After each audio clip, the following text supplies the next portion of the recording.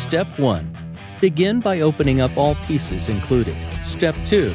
Lay down each bedside section and using the provided foam, place the foam onto the bottom side of the section. Note, some sections may need to be trimmed slightly. You can use standard scissors for this. Step 3. Remove the end caps for the slide rails by pressing on the face and pulling back. For the Gladiator, using a T25 Torx bit, remove the front caps on the two side rails. Step 4. Once the caps are removed, take six of the black slide nuts and insert them into the rails. Position three near the rear and three in the front with the threads pointing up to the center of the bed.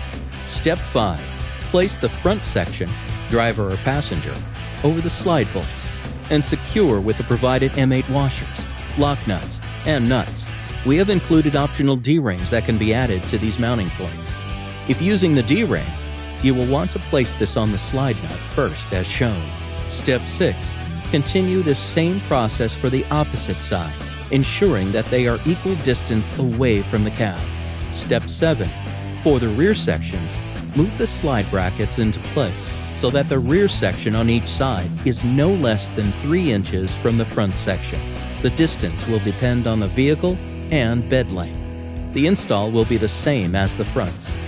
Step 8. We included some optional Rotopax mounts with our kit.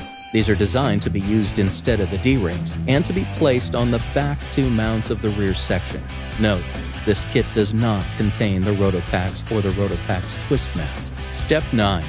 Once all four sections are in place and secure, install the first two cross brackets using the provided M10 hardware, with the cross bracket with the light opening in the rear.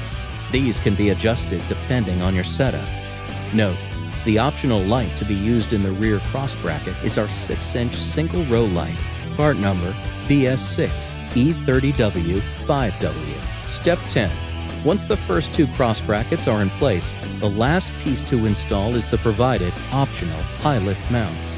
Using the remaining M10 hardware, these are designed to be mounted to the outside of the rack with one mount on the front half and one on the rear. These will be moved and adjusted depending on the size of your Hi-Lift. Step 11. You're now done with the install of your new DV8 8-inch adjustable rack.